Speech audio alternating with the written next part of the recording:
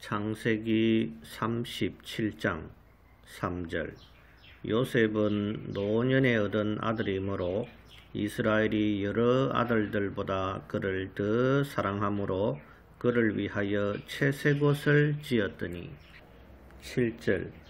우리가 밭에서 곡식단을 묶더니 내 단은 일어서고 당신들의 단은 내 단을 둘러서서 절하더이다.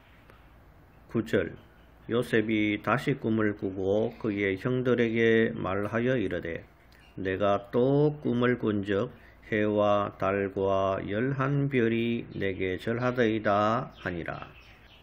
12절 그의 형들이 세겜에 가서 아버지의 양떼를 칠 때에 22절 르우벤이 또 그들에게 이르되 피를 흘리지 말라 그를 광야 그 구덩이에 던지고 손을 그에게 대지 말라 하니 이는 그가 요셉을 그들의 손에서 구출하여 그의 아버지에게로 돌려보내려 함이었더라. 26절 유다가 자기 형제에게 이르되 우리가 우리 동생을 죽이고 그의 피를 덮어둔들 무엇이 유익할까? 31절 그들이 요셉의 옷을 가져다가 숫염소를 죽여 그 옷을 피에 적시고 36절 그 미디안 사람들은 그를 애굽에서 바로의 신하 친위대장 보디발에게 팔았더라. 요셉이 17세의 나이에 형들에 의해 노예로 팔림을 당하게 됩니다.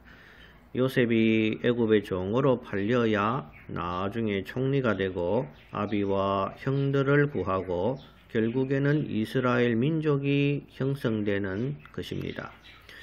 하나님은 유다와 형제들의 악함을 통해서도 예정하신 뜻을 이루시는 분이심을 알 수 있습니다. 요셉의 입장에서 노예로 팔린 것은 정말 재수 없는 일이라고 생각할 수 있으나 하나님의 경륜은 그 고통을 통해서 사람을 바른 길로 인도하시는 것입니다. 요셉의 고생스러운 세월을 성경은 평가하기를 요셉의 일평생이 그에게 형통했더라 라고 기록하고 있습니다. 아이러니한 말이지만 사람의 고생도 하나님이 허락하시는 경우가 있으며 고난 속에서도 늘 함께 하시며 도우시는 하나님을 느낄 수 있는 것이 진정한 신앙생활입니다. 성경이 말하는 형통은 사람 생각에는 재앙인 것 같은데 하나님의 크신 경륜으로 보면 은혜인 경우가 많이 있습니다. 그래서 성경은 믿는 자들은 합력하여 선을 이룬다고 표현하고 있습니다.